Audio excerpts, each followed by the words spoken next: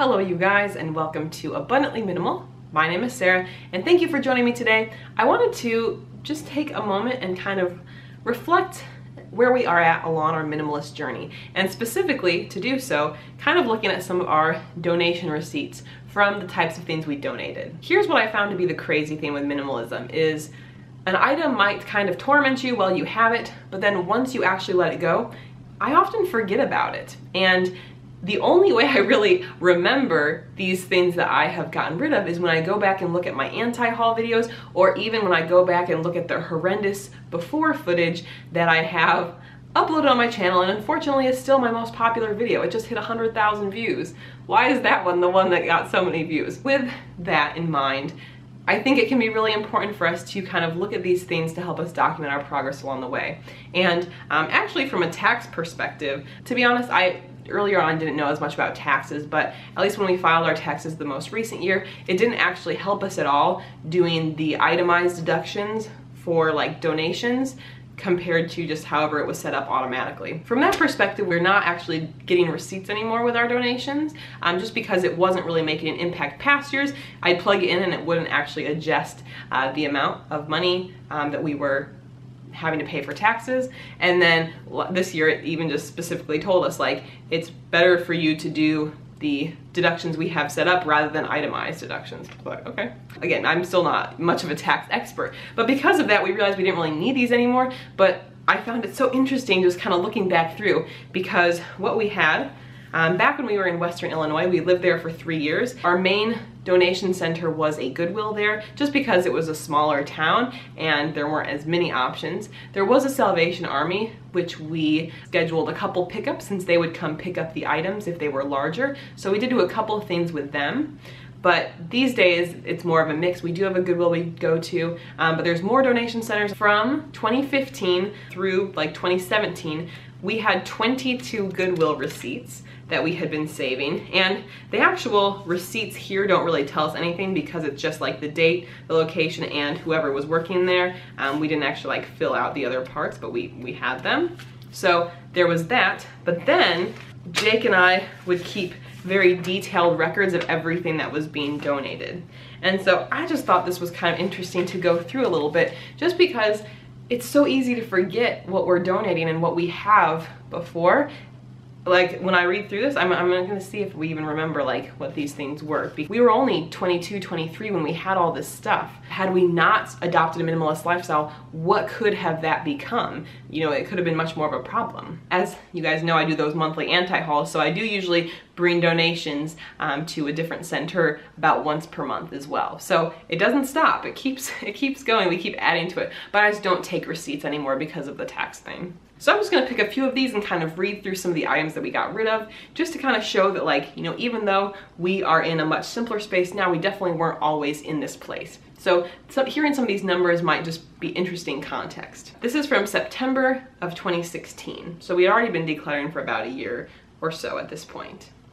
16 washcloths, 13 hangers, two skirts, 40 miscellaneous items, if it was something smaller, nine dishes, eight shirts, seven books, 10 DVDs, a backpack, four dress shirts, one hoodie, seven bow ties, four pairs of shoes, a mattress pad, a glass tray, 10 pairs of underwear, two sweaters, a placemat, seven reusable bags, an inner tube, I really don't remember having an inner tube, um, a cookie gun, and two dresses.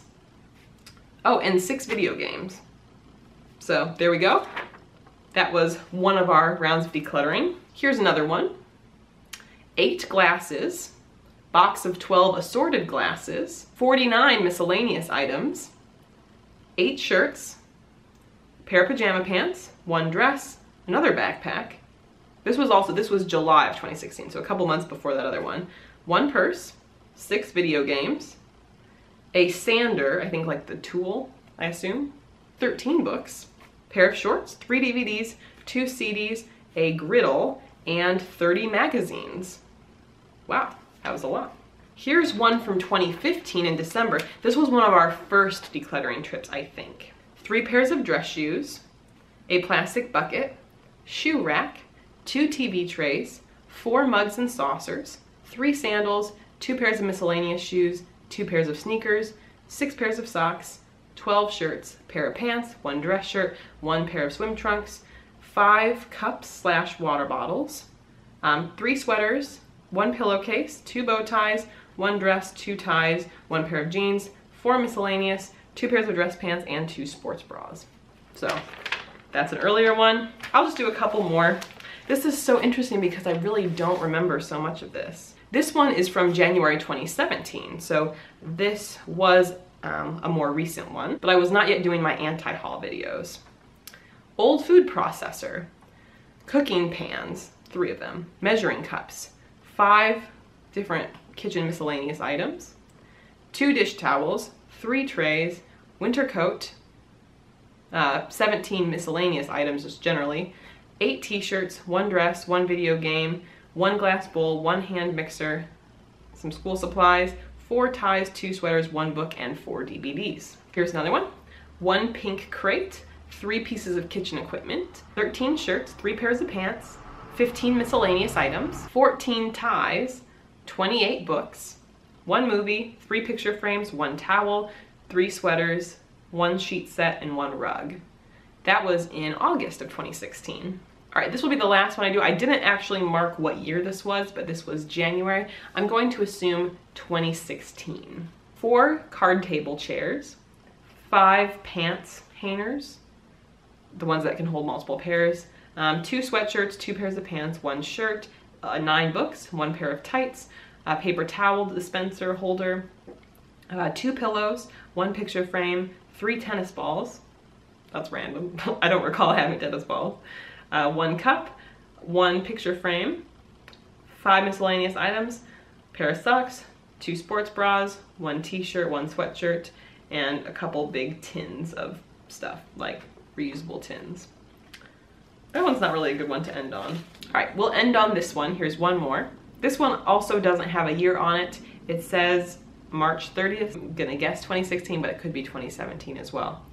So four pairs of pants, eight sweaters, 34 shirts, a robe, two belts, seven pairs of shorts, two CDs, a set of cups, two books, frisbees, hangers, one hat, toaster oven, toilet bowl cleaner, sneakers, and two VHSs.